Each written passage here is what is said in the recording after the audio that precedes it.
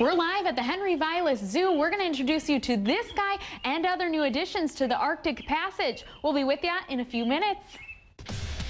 Good afternoon. I'm John Stofflet. And I'm Leigh Mills. Our big story at 5. It is going to be a very exciting weekend at the Henry Vilas Zoo in Madison. The new animals in the Arctic Passage exhibit get to meet the public on Saturday. The $10 million project is the largest in the zoo's history. And NBC 15's Lindsay Brandwald takes us on a tour of that exhibit before it opens. Lindsay?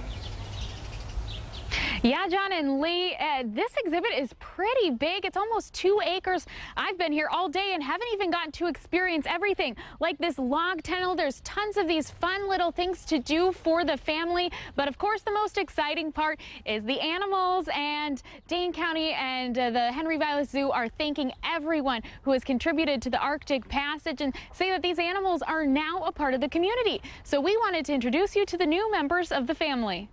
Be a lot of people here, a lot of folks are excited. This is going to be like nothing they've ever seen at um, Henry Vilas Zoo. When everybody hears Arctic, of course, they think about polar bears. And here they are, twin brother and sister. You'll find brother Sakari swimming in the tank. He loves to swim and he likes to do the backstroke. You'll see him doing that the second he comes out. And sister Suka rolling in the grass. So these guys have grass, they have sand, they have mulch, and then they have the wonderful swimming pool. And you can see all that from the Glacier Grill, an indoor restaurant restaurant.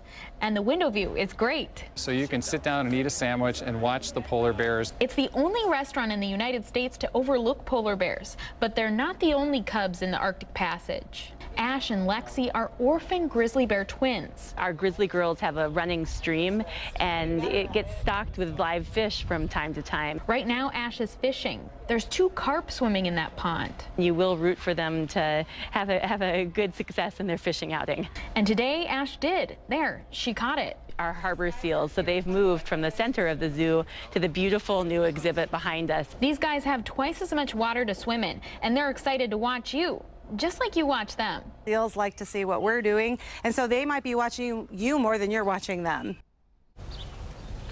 We know and hope many of you are heading to Bratfest this weekend, but if you wanted to stop by the Arctic Passage as well, the zoo has made it really easy. They're running shuttles between Bratfest and the zoo this weekend. That's from 10 a.m. to 5 p.m. both Saturday and Sunday. And again, this exhibit opens up on Saturday morning at 10 a.m. to the public.